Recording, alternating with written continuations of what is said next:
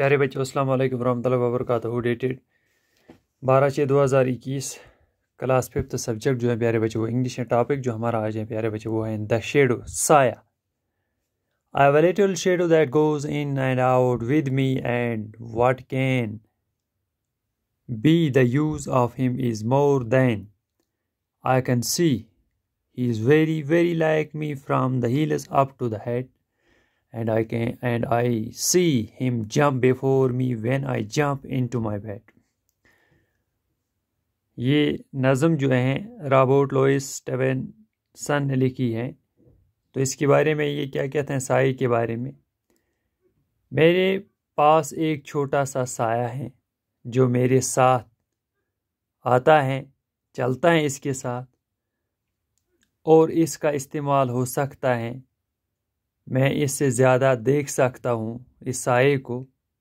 है ना प्यारे बच्चों? वो सर से लेकर पाँव तक इसके साथ होता है। और जब ये बिस्तर पर जाता है सोने के लिए तो इससे ये पहले उछलता, इसको ये देखता है साए को। ये हमेशा हमारे साथ होता है प्यारे बच्चों। इसकी शक्ल व सूरत, कद व कामत और हरकत, सकनात जो है इसका तस्करा ये करता है कि ये साया जो है हमेशा इसके साथ चलता रहता है। The funniest thing about him is the way he likes to grow not at all like proper children which is always very slow for him sometime shoots up taller like an Indian rubber ball, and he sometimes gets so little that there is none of him at all.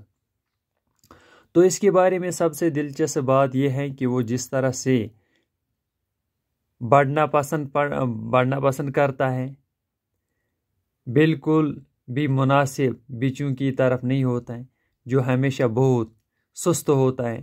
कभी वो, कभी कभी वो Indian rubber ball की तरह लंबा लंबा, है ना, होता है और कभी कभी कम हो जाता है। और इसमें कोई भी प्यारे बच्चों क्या होता है और इसमें कोई भी नहीं होता। है ना प्यारे बच्चों? तो ये साया जो होता है, कभी कभार क्या होता है, बहुत ही लंबी होती है है ना? और कभी कभार क्या होती है, बहुत ही क्या होती है, छोटी भी ये होती है, और इसकी रफ्तार जो होती है वो एक जैसी नहीं होती, है ना? He हैजेंट got a notion of how children ought to play and can only make a fool of me in every sort of way. He stays so close besides me. He is a coward, you can see. I did think it a shame to stick to nurse as the shadow stickers to me.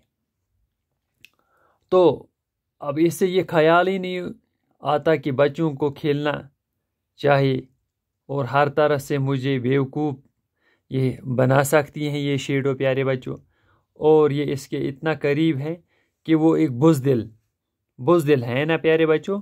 और जिसे आप देख नहीं सकते हैं। और इसको ये लगता है कि वो नर इसको ये लगता है कि शर्म की बात ये है कि ये साया मुझसे चिमटता है, क्योंकि ये हमेशा इसी के साथ रहता है है ना?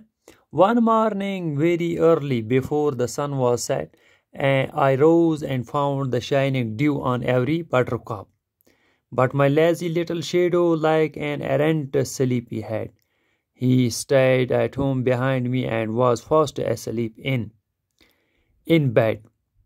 प्यारे बच्चों तो क्या होता है एक सुबह जब सूरज तुलू होने से पहले तो मैंने क्या किया उठकर हर मक्खन के प्याले पर चमकती ओस को पाया, शबनम को पाया।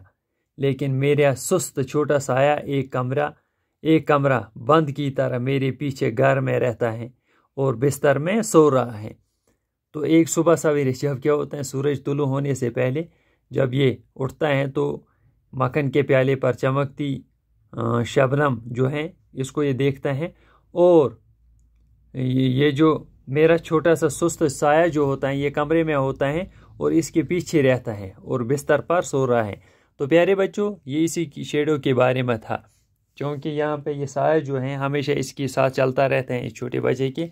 अब इसको ये क्या होता है, यहाँ पे ये इसके अपने तासुरात जो हैं, ये बयान करते हैं। तो यही था हमारा आज का टॉपिक